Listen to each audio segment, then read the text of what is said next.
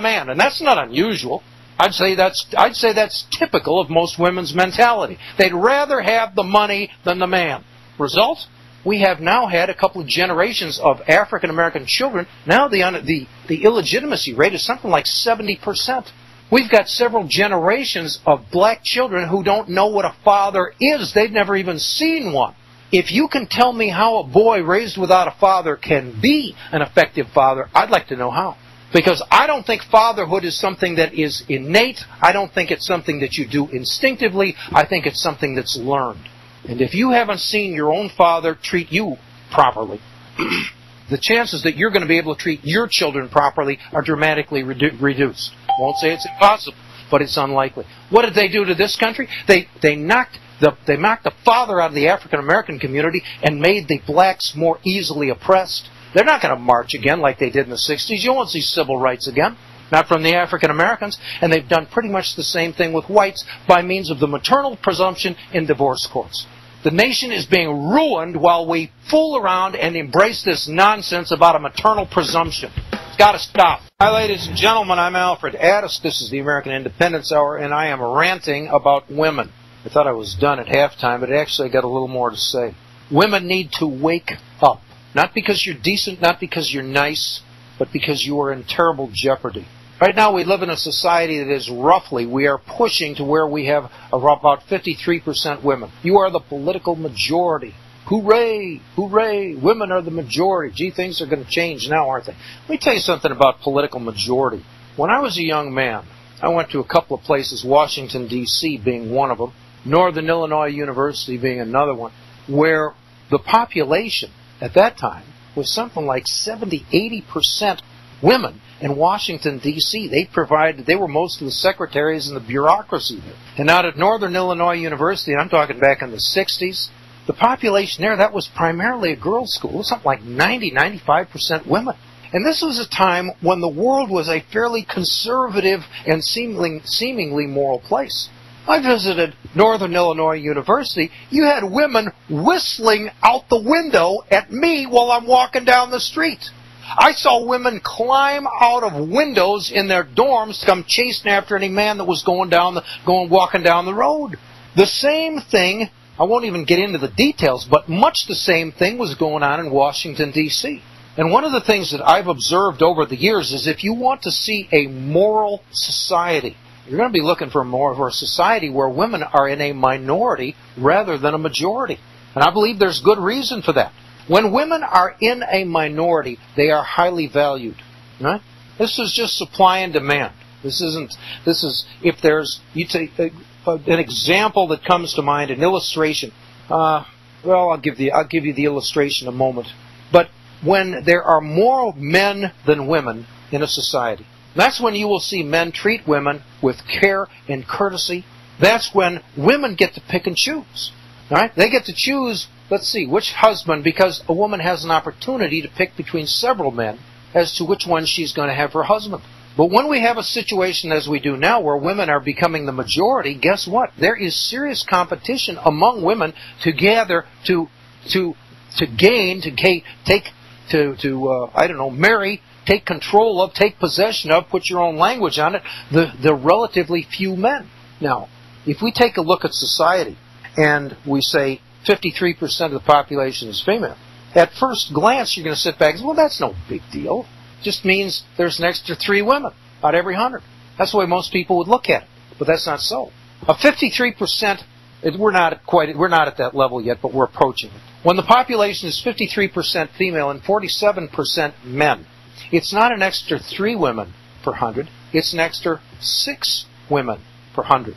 There are 47 men and 53 and 53 women. There's a difference of six. What that means is that at any given moment, it's physically impossible for six women out of 53 to be in the company, exclusive company of a man.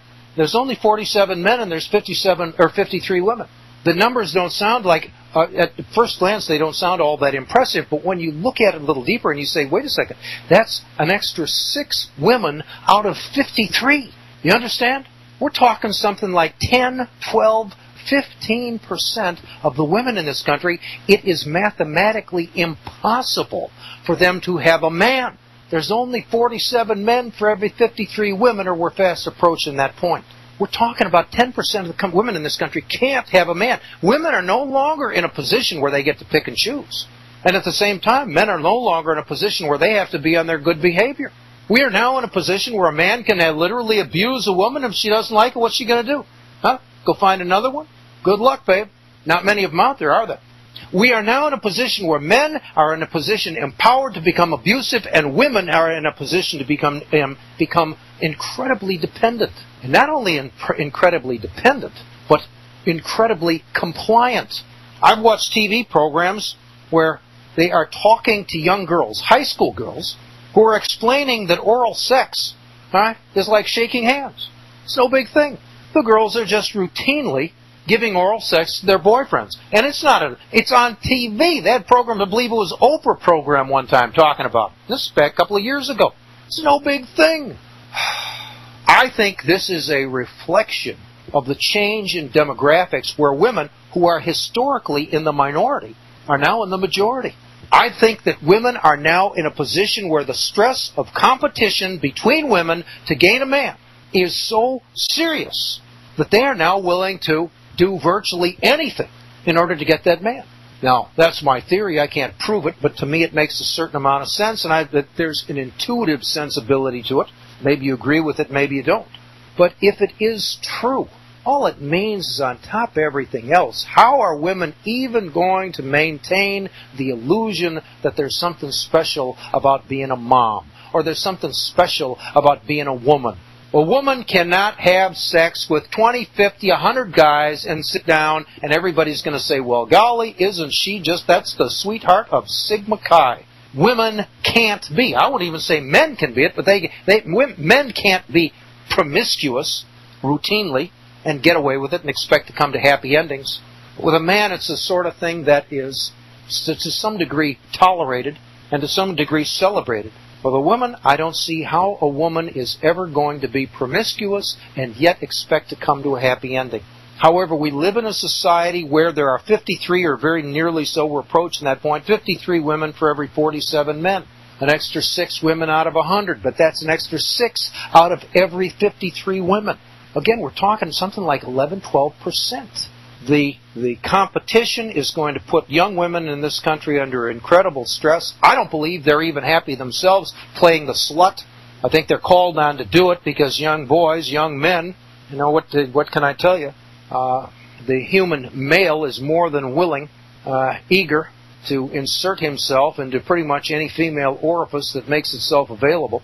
It's the nature of the it's the nature of the species. Historically, women were the brake, the moral brake on promiscuity. They're not anymore. Where are we going with this? Where can this go? How are we going to have a happy ending? I don't understand. I, honest God, can't understand how young men are even bothering to get married. If you don't understand, if you don't know your wife in this society, if you haven't known her for a long time before you were married, and you are absolutely certain that she is fundamentally monogamous, we now live in a society where you have to presume the woman that you are interested in has probably slept with God knows how many other men. I am unable to understand. Maybe I am just too old to get it, right? But I am unable to understand how a man can marry a slut, a woman he understands has been sleeping with God knows how many other men, and have any respect for. I don't understand it. I don't know how they're going to do it. Maybe they can do it. Maybe the younger generation, maybe it's no big thing for them. Maybe I just don't get it. But I think that if your wife has been promiscuous as a young woman, I don't understand what's going to keep her from being promiscuous once you're married. And what are you going to do about it? File for divorce? Take her to a damn divorce court?